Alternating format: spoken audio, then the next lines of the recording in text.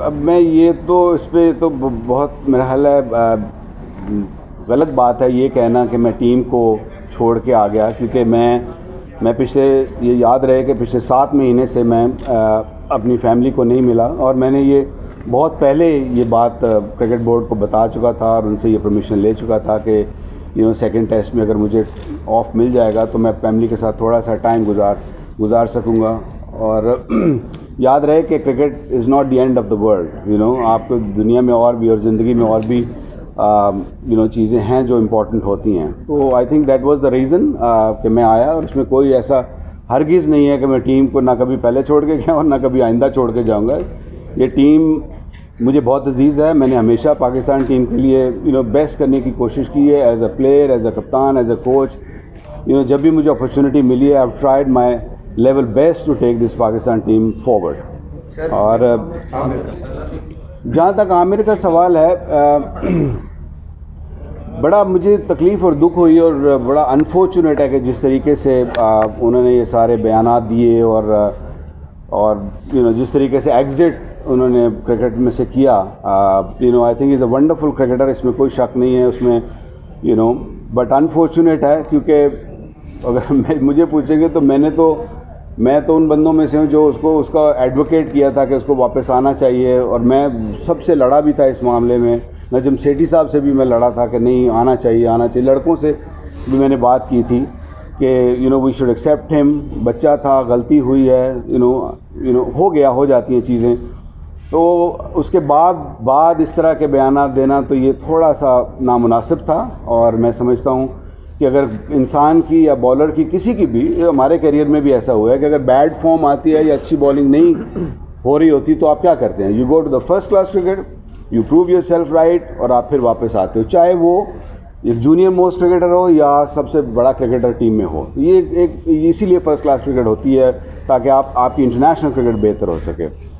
तो तकलीफ़ दे बात थी अनफॉर्चुनेट वे कि जिस तरीके से एग्ज़िट किया है उसने और बाकी सारी चीज़ें मेरा ख्याल है मिसबा ने काफ़ी बेहतरी से एक्सप्लेन कर दिया I got the same mindset about that कितना दबाव होएगा? एक तो ये बता दें दूसरा ये है कि आम ख्याल है कि आप को कमेंटेटर ज़्यादा का माना जाता है और कोच कम इस पर क्या कहेंगे पहली बात तो ये कि ये परफॉर्मेंस बेस्ड है। यू नो जब आप इंटरनेशनल क्रिकेट में कोचिंग करते हैं या खेलते हैं कि कोई बंदा कोई बैट्समैन जैसे सपोज़ नहीं परफॉर्म नहीं करता तो वो you know it goes back वो उसको परफॉर्मेंस बेस्ड है ना इस, इस, इस लेवल पे। तो इसी तरह कोचिंग भी परफॉर्मेंस बेस्ड है। यू नो अगर परफॉर्मेंस होएगी आप अच्छा करेंगे तो आपको आगे आगे अपॉर्चुनिटी मिलती चली जाएगी। और हम भी यही कोशिश कर रहे हैं कि ये हो। और ये बड़ा अच्छा था कि ये क्रिकेट कमेटी ने मेरा तो पहला इतफाक़ था क्रिकेट कमेटी के सामने। ये ऑल दो मैंने हेड कोच की जॉब भी एक दो दफ़ा की है पहले भी। मेरा पहला इतफाक़ था उनके साथ बात करने का, मिलने का, और मुझे तो बड़ा अच्छा लगा। वो इसलिए अच्छा लगा कि क्रिकेटर्स ने बैठ के क्रिकेट की बात की, क्रिकेट की इम्प्रूवमेंट की बात की, क्रिकेट की बेहतरी की बात की, अच्छे सवाल हुए, जैसे आप कर रहे हैं। इसी तरह उन्होंने भी मुझे सवाल किए और मैंने उनके ओपन जवाब दिए और बड़ी अच्छी डिस्कशंस हुई। और मैं चाहूँगा कि ये इस तरह की क्रिकेट कमेटी की जो मीटिंग्स हैं, ये आइंदा भी होती रहें यू नो उसमें ये नहीं कि मैं हूँ या कोई हो जो भी हो आइंदा भी होनी चाहिए और रेगुलर बेसिस पे होनी चाहिए ताकि क्रिकेट की बेहतरी के लिए क्रिकेटर्स बैठ कर अच्छा क्रिकेट के लिए फैसले कर सकें और क्रिकेट की बेहतरी के लिए बेहतर जिसने जिसने भी ये बात की है आई मीन मैं उसको क्या कुछ नहीं कहना चाहता क्योंकि मैं I am more focused on what I need to do और जो मेरा काम है मैं उस पर फोकस हूँ।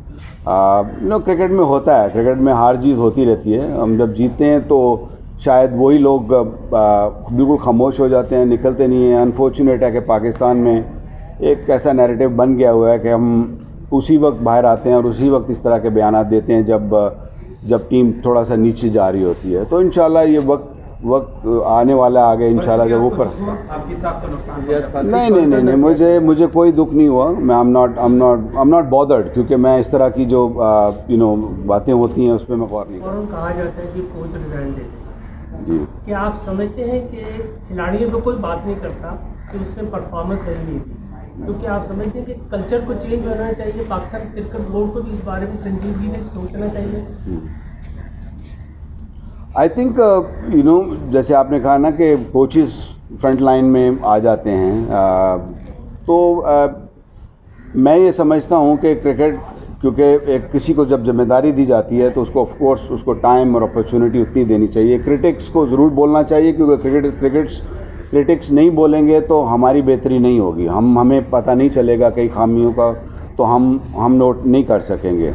तो मैं ये समझता हूँ कि अपॉर्चुनिटी ज़रूर मिलनी चाहिए और कंप्लीट मिलनी चाहिए। जैसे जैसे बा, बाकी इदारों में सियासत में जैसे होता है कि आपको टेन्योर है you should get that opportunity and try to get the best खिलाड़ियों को आउट कर सकते हैं। नहीं ऐसा नहीं है। आप आप ज़रा ओवरऑल बड़ी पिक्चर देखेंगे जैसे मैंने पहले दिखाने की कोशिश की शायद आ, आ, शायद मैं बता नहीं सही सका कि जी जो जो हालात हैं आप उनको तो कंसिडर नहीं कर रहे ना कि हम हम हाँ मैं मैं ये तो नहीं कि मैं बताता नहीं हूँ या मैं मुझे नहीं पता टेस्ट मैच क्रिकेट का कि टेस्ट मैच की क्रिकेट किस तरह होनी चाहिए। बिल्कुल पूरी तरह इन्फॉर्म किया जाता है हर चीज़ होती है बट सर्कमस्टांसेस ऐसे हैं कि उतनी प्रेपरेशन जितनी होनी चाहिए थी उतनी प्रेपरेशन नहीं हो सकी। अगर आप देखें ना कि चौदह दिन का जो कोविड टाइम था इट इज़ नॉट ईजी और और मेडिकली भी प्रूवन है ये कि अगर आप एक दिन कमरे में बंद रहते हैं आई डोंट नो कि आप में से किसी ने भी चौदह दिन का क्वारंटीन अभी तक किया या नहीं किया। आ, लेकिन इट इज़ टफ है ना मैं तो दो दफ़ा तकरीबन कर बैठा हूँ।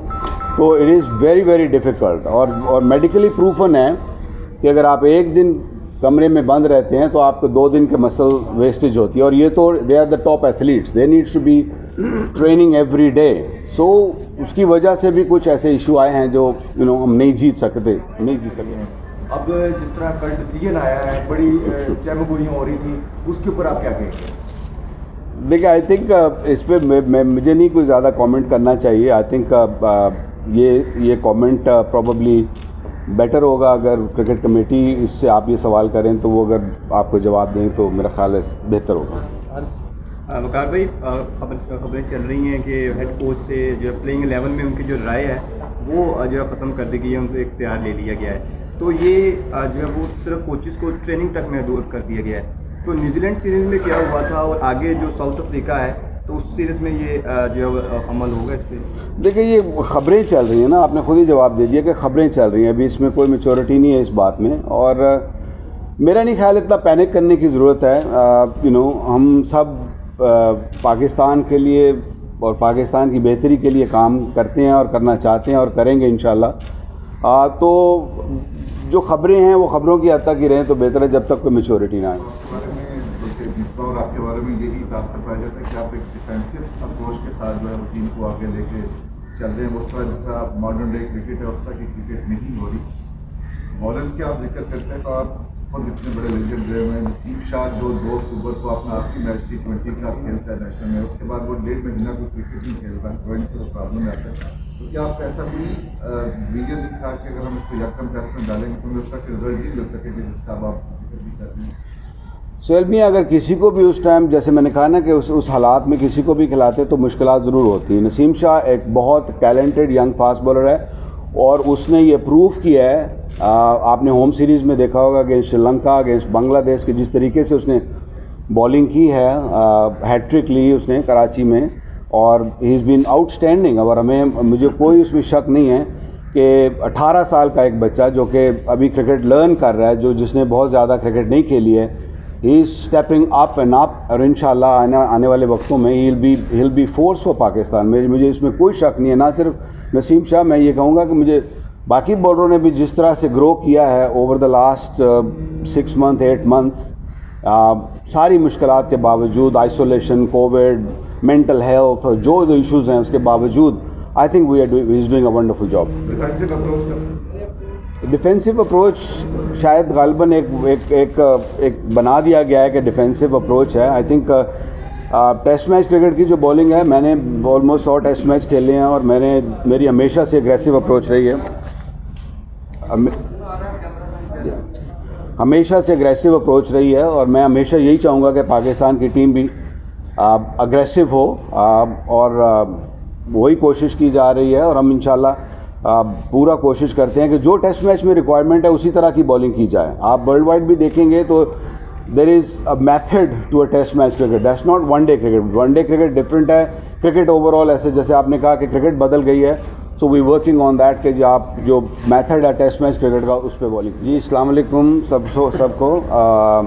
पहली बात तो ये है कि बहुत बहुत शुक्रिया आप सबका आने का और यू नो बड़े अरसे से आप लोगों से इंटरेक्शन नहीं हुई थी तो ये एक बड़ा अच्छा मौका है कि हम आपको बता सकें, आप हमसे पूछ सकें कि आइंदा आने वाले वक्तों में क्या होने वाला है और को क्या कोशिश की जा रही है और इस टूर पे टूर किस तरीके का गया? बल्कि टूर नहीं, मैं क्योंकि मेरी इंटरेक्शन काफ़ी अरसे के बाद हुई है तो पूरा जो पिछला एक साल का tenure I think we can also talk about that और मैं आपको ये भी बड़ा क्लियर क्लियर कट बताना चाहता हूँ कि I am not here to hide behind anything किसी चीज़ के पीछे मैं छुप, छुपने के लिए यहाँ नहीं आया हूँ।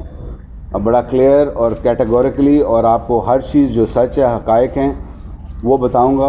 और जो प्रॉब्लम्स हैं, जो मुश्किल हैं और जो, हम आगे प्लान कर रहे हैं, उसके सब के बारे में आपके सवालों का इंशाल्लाह मैं सबका जवाब दूँगा। आप जहाँ तक बात टूर की है तो टूर सबके सामने है। थोड़ा टफ़ ज़रूर था। मुश्किल थी जिस तरीके से आजकल क्रिकेट वर्ल्ड वाइड हो रही है।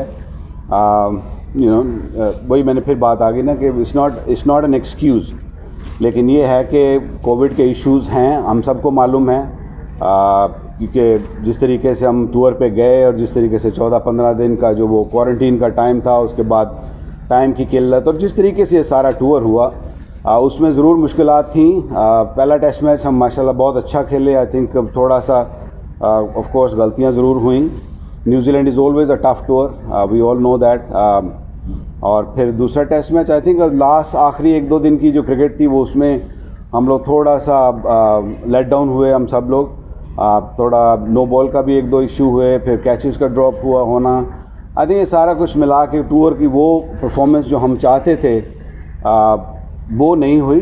ना लेकिन जो हालात हैं जिसको देखा जाए तो I think I am so proud of the for the of the bowlers कि जिस तरीके से उन्होंने इन मुश्किल मुश्किल मुश्किल हालात में द कीप फाइटिंग और जिस तरीके से हम ये टूर खेले एज ए सेड के रिज़ल्ट उस तरह के नहीं आए जिस तरह हम चाहते थे, लेकिन हम लोग आगे इन जो देख रहे हैं कि साउथ अफ्रीका आने वाला टूर या उससे further on I think we are looking at building into a very very fine bowling line up very good team in क्योंकि अगर वाइट बॉल की क्रिकेट देखी जाए तो उनकी बॉलिंग और सारा देखा जाए तो वी हैव गॉट सोर्सेज के जो आने वाले वर्ल्ड कप एशिया कप जो मेजर क्रिकेट आने वाली है we I am really looking forward के जिसमें वी डू रियली वेल.